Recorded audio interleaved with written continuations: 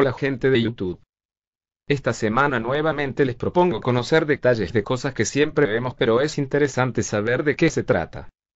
Espero que les guste mucho. El cine, abreviatura de cinematógrafo o cinematografía, es la técnica y arte de proyectar fotogramas de forma rápida y sucesiva para crear la impresión de movimiento, mostrando algún video.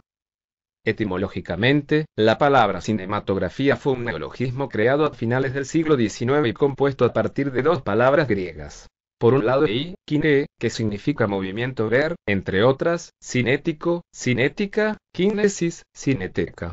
Y por otro ñaolo, grafos. Con ello se intentaba definir el concepto de imagen en movimiento.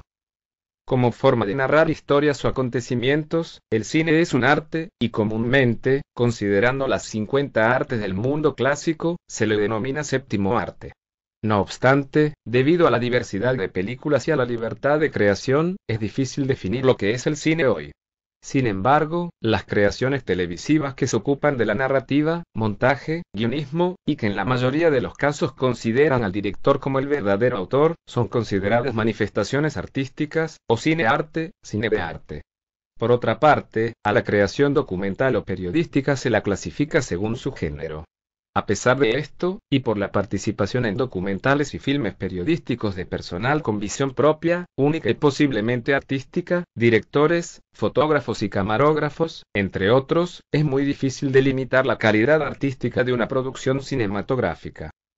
La industria cinematográfica se ha convertido en un negocio importante en lugares como Hollywood, California, Estados Unidos, y Bollywood, Bombay, la India.